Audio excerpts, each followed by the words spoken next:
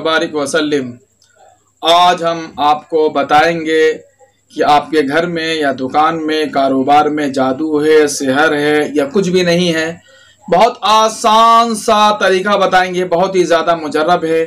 इस वीडियो को आखिर तक गौर से सुनिएगा आजकल इंसान घरों में बीमारी से परेशान रहते हैं। एक शख्स बीमार से सही नहीं हो पाया कि दूसरे शख्स फ़ौरन बीमार हो गए, तीसरे बीमार हो गए, दवा पे दवा इंसान बिकते जा रहे हैं। डॉक्टरी इलाज में कोई फ़ायदा नहीं मिल रहा। और ज़्यादा परेशानियाँ बढ़ रही हैं। नई नई जांचें करा रहे हैं, लेकिन इसमें कोई रिलीफ नहीं मिल रहा और परेशानियाँ बढ़ रही एक की तबीयत सही नहीं हुई, दूसरे बीमार हो गए, तीसरे, फिर आखिरकार लोगों के घर में कहने के या पड़ोस के कहने पर कि भाई कुछ दिखलाओ किसी को, क्या हो गया तुम्हें? तो इंसान फिर वही बाबाओं के पास जाते हैं।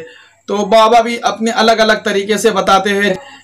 जिस तरीके से आप मेडिसिन लाइन में जाइए, चार हॉस्पिटल में जाइए तो चारों हॉस्पिटल आपको अलग अलग रिपोर्टें बताएँगे अलग अलग मर्ज बताएँगे। अलग अलग आपकी बीमारियों का खोज करेंगे। इसी तरीके से कमोबेश आजकल यही हमारे बाबाओं का है। आप चार बाबाओं के पास जाइए, चार आमिल के पास जाइए तो वो भी अलग अलग तरीके से बताएँगे। कोई कहेंगे कि भाई कोई नांगन आपने नांग दिया, कोई कहेंगे कि भाई आपके घर में असरात है, कोई कहेंगे कि आपको जादू करा रखा है, खाला ने, मामू ने, फूफी ने, कोई कहेंगे कि भाई ऐसा सैसा हो गया, वो नाराज़ हो गए, ये हो गया। तो बहरहाल, इस तरीके से आज पाखंडी बाबाओं का बहुत ही ज़्यादा चर्चा होता है। इंसान बीमार से तो नहीं सही हो पाता है, फिर इनके यहाँ जाते हैं तो और ज़्यादा उलझने हो जाते हैं। इस्लाम ने इंसानियत को एक गाइडलाइन दिया कि भाई, अगर आपके साथ ऐसा हो जाए तो क्या करें आप? क्योंकि कुरान सिर्फ़ एक कौम के लिए नहीं है। उदल्लिनास तमाम लोगों के लिए, किसी भी धर्म का वो हो। उस धर्म वाले इस कुरान का इस्तेमाल करेंगे, जादू में या किसी भी काम में वो शख्स कामयाब होंगे, ये गारंटी अल्लाह रब्बुल इज़्ज़त देता है। वनजिलकुरानी मा हुआ शिफा। ये कुरान शिफा है, हर बीमारी का दवा है, हर परेशानियों से निजात का ज़रिया है। लेकिन आप इस कुरान को पाने के लिए क्या इस बाबाओं और तांत्रिक और जो कहते हैं, आमिल के पास जाएँगे? नहीं नहीं। इसकी सख्त वाइद है, आज हम में का कुछ जाहिल लोग होते हैं, कुछ परेशानियाँ होती है तो फ़ौरन चले जाते हैं। आमिलों के पास, बाबाओं के पास, जिसे पहले नुजुमी कहा जाता था, और अल्लाह के रसूल सल्लल्लाहु अलैहि वसल्लम ने नुजुमियों के पास जा करके अपनी हालात दरियाफ्त करने को सख्त मना फरमाया, सख्त वाहिद फरमाया। एक अलग सी चीज़, ये अलग सी चीज़ है कि आप इस्तारा निकाल रहे हैं आप रुकिया कर रहे हैं, आप मरीज़ के बारे में देखभाल कर रहे हैं। अल्लाह से दुआ मांग करके मरीज़ की कैफियत मालूम कर रहे हैं ये अलग सी चीज़ है। लेकिन ये जो बताते ये ऐसा होगा, तुम्हें ऐसा होगा, ये होने वाला है। ये सख्त वाहिद फरमाया। हज़रत उमर इबन ख़त्ताब रदी अल्लाह तु अपने दौरे खिलाफत में बहुत से जादूगरों के गर्दन को उड़वा दिया, कत्ल करवा दिया। शोबदाबाजी और दीगर खुराफात और कीमियाई के ज़रिए से लोगों को गुमराह कर रहे थे ना। जैसे आज चले जाइए आप किसी बाबा के पास, कहेंगे, तुम्हें खिलाया हुआ है। फिर वो बाबा यूँ करेंगे हाथ और देखेंगे, देखो, ये निकल दिया मैंने, तुम्हें ये खिलाया गया था। ये हम जिस जिन्नात या हमजात के ज़रिए से, या तो फिर ये शोबदाबाजी या कीमियाई के ज़रिए से आपको बेवकूफ़ बनाते हैं। कि देखो भाई, बहुत से लोग हैं आपको हांडी में क्या क्या डालेंगे और पानी डालेंगे? आग लग गया। भाई, तुम्हारा जितना भी चीज़ था सब जला दिया। ये सब जल कपूर और ना जाने कितनी कितनी केमिकल होते, इस तरह इस तरह करके लोगों को बेवकूफ़ बनाया जाता है। लोग समझते हैं कि हाँ सही हो गया। बहुत से जगह में तो लोग राखियाँ निकालते हैं मुँह से। और ये निकाला, तुम्हारे मुँह से बाल निकला, फला निकला, ये निकला। अरे, इस तरीके से लोगों को बिल्कुल गुमराह किया जाता है। और जाहिल आवाम बेचारे बेवकूफ़ बनते हैं। इसके आगे कहीं से कुछ नहीं आराम। यहाँ तक के लोग आठ आठ बार पेट से निकलवा लिए या उसके जिसम से निकल गया जादू, लेकिन उसको आराम नहीं मिला। इस तरह के शौबदाबाजी आजकल हमारे समाज में बहुत ही ज़्यादा है। उमर इबन खत्ताब रदी अल्लाह तहों बहुत से जादूगरों का कत्ल करवाया था। हज़रत उमर इबन खत्ताब रदी अल्लाह तहों एक जादूगर के पास गए और गिन कर अपने हाथों में पत्थर लिए। इतने अदद है और हाथ को पीछे फरमाया और बताया कि बताओ जादूगरों मेरे हाथ में क्या है जो पीछे मैंने मुट्ठी बांधी है? जादूगर ने फ़ौरन अपने शैतानी अमल से हज़रत उमर इबन खत्ताब रज़ी अल्लाह तहों का दिमाग को पढ़ा। फ़ौरन बता दिया, ए उमर इबन खत्ताब, तुम्हारे हाथ में इतने इतने पत्थर है। हज़रत उमर इबन खत्ताब रज़ी अल्लाह तला उस पत्थर को फेंके कि बिल्कुल सही बताया। फिर उमर इबन खत्ताब ने दोबारा पत्थर लिए तो बगैर गिन के लिए, गिना नहीं कि कितना ले रहा हूँ मैं? और फिर हाथ को पीछे फरमाया फरमाया, अब बताओ जादूगर मेरे हाथ में कितने पत्थर है। अब बताओ जादूगर मेरे हाथ में कितने पत्थर है। जादूगर बताने से कासिर रह गया, हक्का बक्का रह गया, नहीं बता पाया। क्योंकि जादूगर आपके दिमाग को पढ़ते हैं कि आपके दिमाग में क्या चल रहा है, और उसी तरीके से इंसान को बताते हैं। वो शैतानी इल्म के ज़रिए से या जिन्नात के ज़रिए से या हमजाद के ज़रिए से आपका दिमाग को पढ़ लेंगे कि आपके दिमाग में चल रहा कितने पत्थर है, आप गिन चुके हैं, दिमाग में क्या कह रहा है आपका? फिर वही बताते हैं, इंसान सोचते हैं, ये तो बहुत पहुँचा हुआ बुज़ुर्ग है, बहुत पहुँची हुई हस्ती है, बहुत काबिल देखो इसने बता दिया बताया कुछ नहीं, ये आपके दिमाग में क्या चल रहा था, वही पढ़ करके आपको बता दिया। जैसा कि उमर इब्न खत्ताब ने बगैर गिन करके पत्थर रखे थे, कहा था कि जादूगर, बताओ मेरे हाथ में कितने पत्थर है? वो बताने से कासिर रहा, नहीं बता पाया। क्योंकि वो गिन ही नहीं पाया, दिमाग ही नहीं पढ़ पाया। तो मेरे मोहतरम, ऐसे लोगों से बचिए, खुदा के वास्ते, और टोटली बचिए। तो मैं आपको छोटा सा फिर बता रहा हूँ। मैं बहुत काम की चीज़ बता रहा हूँ मैं।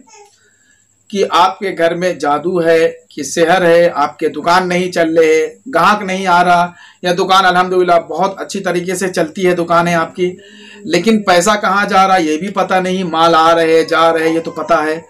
तो इसके लिए आपको बहुत आसान सा नुस्खा मुजरब अमल बता रहा हूँ। आप इसको गौर से सुनिए और खुद अमल करिए, खुद अपनी ज़िंदगी में इनकलाब लाइए। इन पाखंडियों के चक्कर में ना रहिए।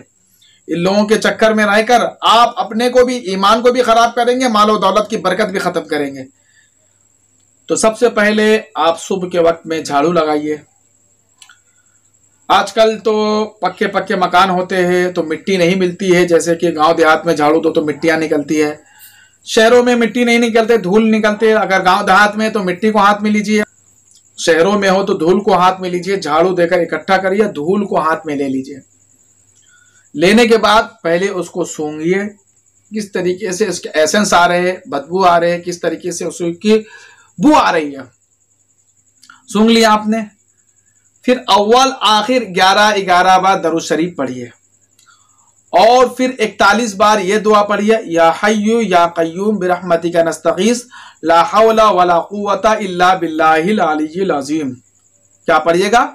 या हय्यु या कयूम बिरहमती का नस्तगीस, ला हौला वला कुव्वता इल्ला बिल्लाहिल अलील अजीम। इसको कितनी बार पढ़ना है? इकतालीस बार। पढ़ करके हल्का सा उसमें दम कर लीजिए कि उस मिट्टी में आपके फूंक लग जाए। फिर उसके बाद उस मिट्टी को सूंघिए आप। क्या आपने जो पहले सूंघा था, उसी तरीके से उसकी एसेंस है, बदबू है? या बू आ रही है, अगर बदबूदार है तो समझ जाइए घर में जादू है, सेहर है, अगर उसी तरीके से तो समझ जाइए कुछ नहीं है। ये बहुत आसान सा तरीका बताया। अगर ऐसा कुछ है तो आप अपना विरत करिए, चारों कुल को पढ़िए सुरा फातिहा पढ़िए, अव्वल, आखिर, ग्यारह ग्यारह दरुज शरीफ पढ़िए, और कसरत से सुरा फातिहा पढ़िए इनशाला ये जायल हो जाएँगे जादू और असरात। ये बहुत आसान सा मुजर्रब अमल है। आजकल तो हमारा ये हाल है, हम कुछ नहीं करेंगे। जो कुछ करेंगे, सब बाबा ही कर आजकल तो इतना एडवांस जमाना है कि इंसान कुछ करने को तैयार नहीं। भाई, हमें कुछ ना करना पड़े। आप गले पे ताबीज पे ताबीज लटका दिया और फिर शिकवा कर रहे हम परेशान हैं। और शिकवा कर रहे हम परेशान हैं। हम पर तरह तरह की मुसीबतें क्यों आ रही है? मेरे मोहतरम, ऐसा कुछ नहीं है।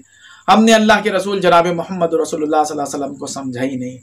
नबी पाक सल्लल्लाहु अलैहि वसल्लम ने हम उम्मतियों के लिए क्या क्या, अहम अनमोल नियामतें छोड़ गए हैं। एक हदीस बयान कर रहा हूँ, बुखारी शरीफ की हदीस है। हदीस नंबर ग्यारह सौ छप्पन, बुखारी शरीफ की हदीस है।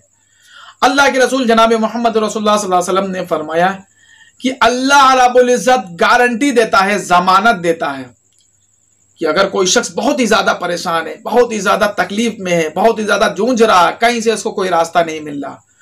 तो इंसान जब आपको रात की तन्हाई में अचानक से आँख खुल जाते हैं ना? या कोई भी रात का हिस्सा हो, फरमाया इंसान के आँख को खुले और ये दुआ पढ़ ले सुबहान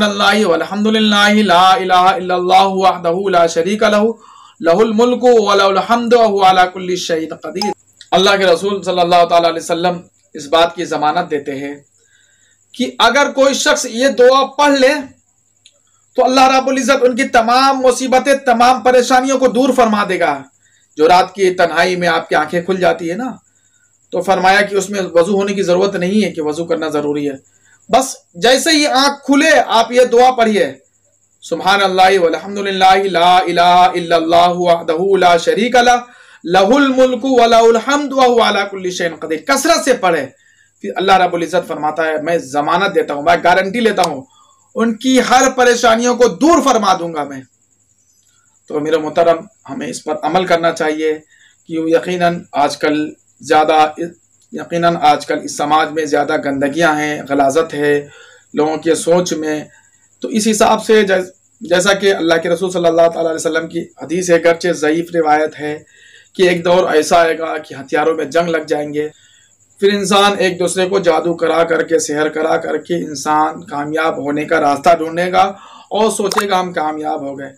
अकबरुल कबायर गुनाह में से ये है कि जैसे किसी का कत्ल कर देना, किसी पर गलत इल्ज़ाम लगा देना, अल्लाह के अलावा किसी और को शरीक ठहराना, इसी तरीके से ये भी है कि किसी इंसान पर बिला वजह, किसी पर जादू कराना, सिहर कराना और सिपली कराना ये सब गंदगी कराना, ये भी सबसे बड़ा गुनाह अजीम है। अल्लाह ताला हम सबको इससे निजात दे और हम सबको ये देना से मुस्तकीम पर चलाए।